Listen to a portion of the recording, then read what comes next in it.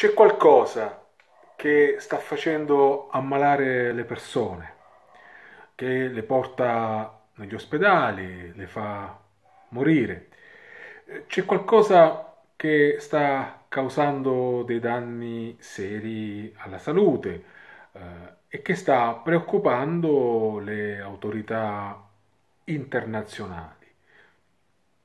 Riguarda il nostro stile di vita e causa uh, molti problemi anche tra le famiglie, al lavoro e via dicendo.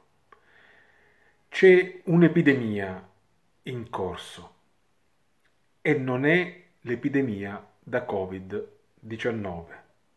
C'è anche quella, ma prima di quella e da molto più tempo, nella società soprattutto occidentale, ma anche da decenni, pure in quella orientale, così come eh, sta avvenendo persino in America Latina, c'è un'epidemia da stress, la vera, maggiore causa di decessi in tutto quanto il mondo.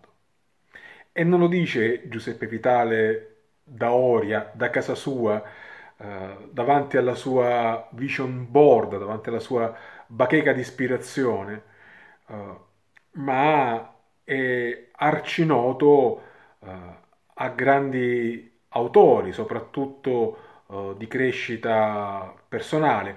Uno di questi, dei quali adesso voglio brevemente parlarti, è Dale Carnegie, autore di Come vincere lo stress e cominciare finalmente a vivere. Quindi lo stress di cui parla questo splendido libro che io ho avuto la grande fortuna di leggere e di mettere in pratica è davvero eh, pericoloso. È proprio lo stress che causa eh, le peggiori situazioni psicologiche ma anche psicosomatiche, cioè entra in circolo il veleno e ti ammazza. Infatti eh, leggo brevemente eh, nel retro di copertina di questo libro i capitoli riguardano eh, come imparare ad affrontare ogni situazione difficile, ehm, come eliminare il 50% delle eh, preoccupazioni, eh, come ignorare le critiche altrui e come guarire dalla depressione in due settimane.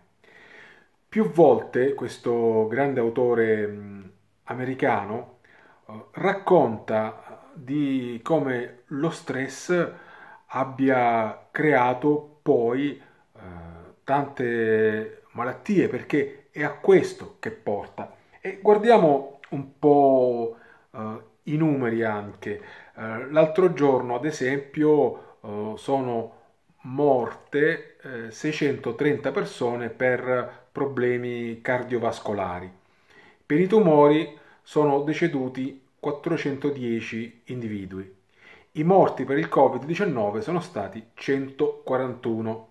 Quindi guardiamo un po' le proporzioni per eh, intenderci. Da decenni e decenni ci sono centinaia e centinaia eh, di morti, almeno in Italia, eh, a causa delle malattie cardiovascolari sulle quali ha una importante influenza eh, tutta quanta la sfera della socialità, come anche ehm, del, del, proprio pensiero su se stessi, su quello si, che si fa, sullo stile di vita, insomma. E questo solo in Italia. Pensiamo un po' che cosa succede in tutto il mondo ogni giorno.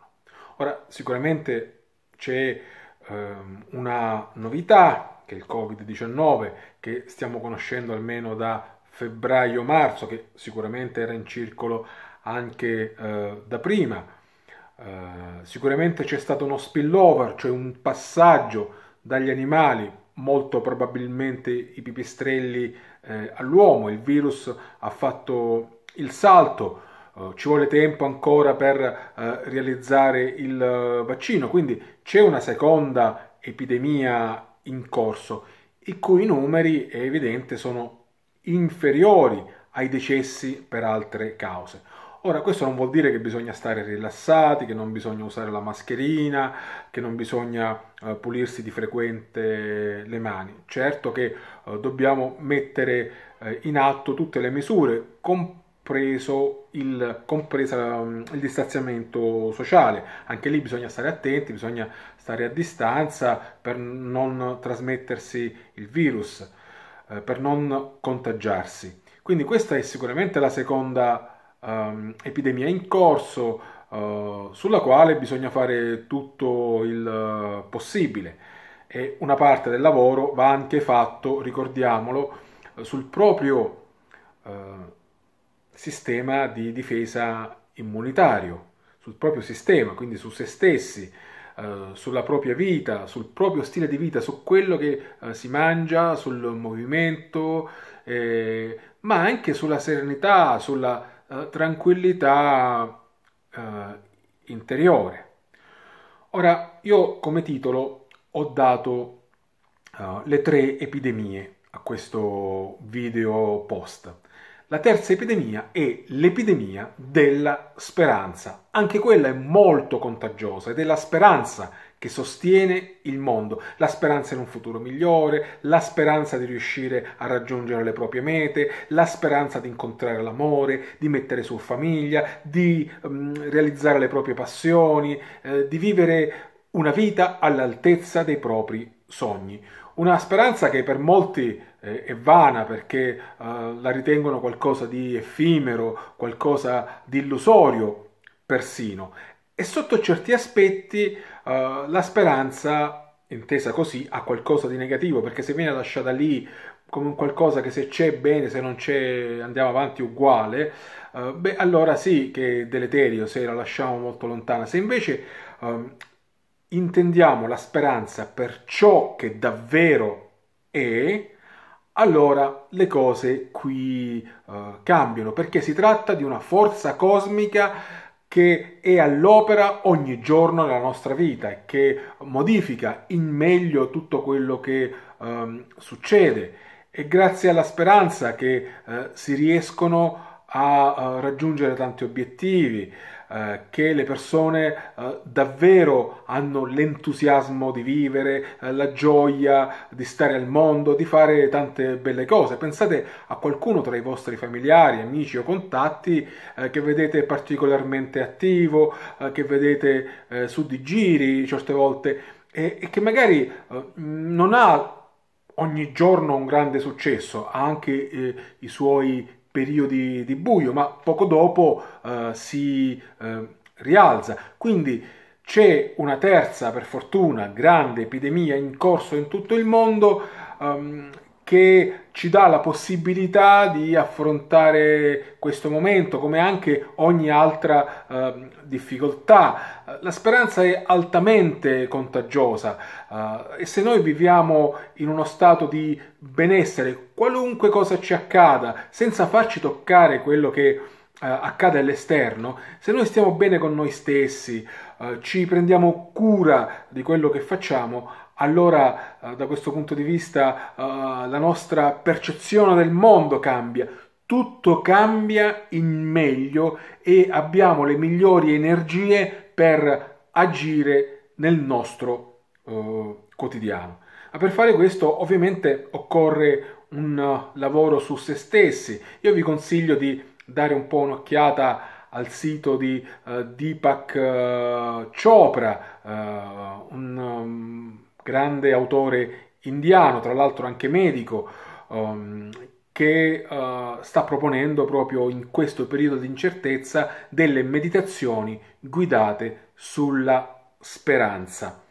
Uh, vi consiglio anche un'altra lettura, un libro che per me uh, è stato un grande cambiamento, proprio una svolta da una percezione della vita tutto sommato mm, tranquilla, un po' troppo tranquilla, noiosa, a volte troppo difficoltosa, ehm, un passaggio quindi da un periodo anche di depressione che stavo avendo ad una situazione invece di maggiore consapevolezza, di maggiore fiducia in me stesso. Sto parlando, ecco scusate le mani davanti, ma il libro era di fianco al cellulare, sto parlando di un grande, grande classico della crescita uh, personale, eh, di Anthony Robbins, eh, come migliorare il proprio stato mentale, fisico e finanziario, che è come sottotitolo Manuale di psicologia del cambiamento.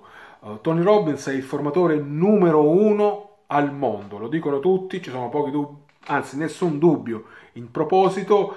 Um, ogni giorno migliaia e migliaia di persone si rivolgono a lui per uh, cominciare la scalata verso se stessi, verso il proprio successo personale. Eh, in questo libro lui uh, dà tutto quello che, che, conosce a proposito della gestione delle emozioni, a proposito della gestione delle credenze, che si suddividono in credenze negative e in credenze eh, potenzianti, vi dà tante tecniche proprio per liberarvi uh, uh, dal, dal, soffocamento di certe emozioni, dall'impulsività, uh, vi, vi, fa fare un lavoro oh, sulle, sulle, regole, e sono importanti anche queste, sui propri, lavori di eh, sui propri valori, chiedo scusa, um, di, di, vita e via dicendo. Um, quindi se ci sono tre epidemie, uh, la prima abbiamo capito come affrontarla grazie al libro di Dale Carnegie e quindi uh, lavorare per fronteggiare lo stress. La seconda, affidiamoci uh, alle misure che le autorità ci dicono, ma facciamo anche qualche passo in più, prendiamo tanta vitamina D ehm, mettendoci al sole e anche cerchiamo di uh, assumere la vitamina A e la vitamina C, molto importanti per il nostro sistema immunitario. E cerchiamo di far proliferare invece il più possibile uh, l'epidemia della speranza. Facciamo le meditazioni guidate eh, proposte da deepakchopra.it e uh, leggiamo il libro di Tony Robbins. Tutti i link um, di questi materiali eh, di cui vi sto parlando li trovate, li trovate, trovate.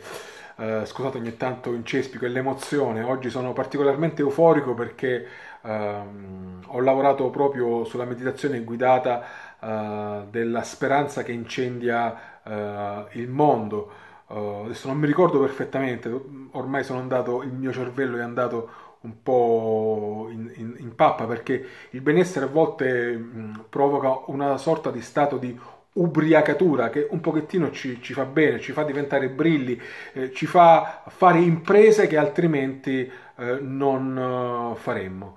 Uh, non mi resta che darvi anche il link al mio uh, blog personale dove ci sono anche tanti altri consigli simili a questo www.giuseppevitale.eu lo trovate anche nella descrizione qua sotto del video. Uh, vi saluto e vi do appuntamento al prossimo video post, al prossimo video articolo. Fatemi tante domande, eh, critiche, quello che volete e alla prossima. Ciao, grazie.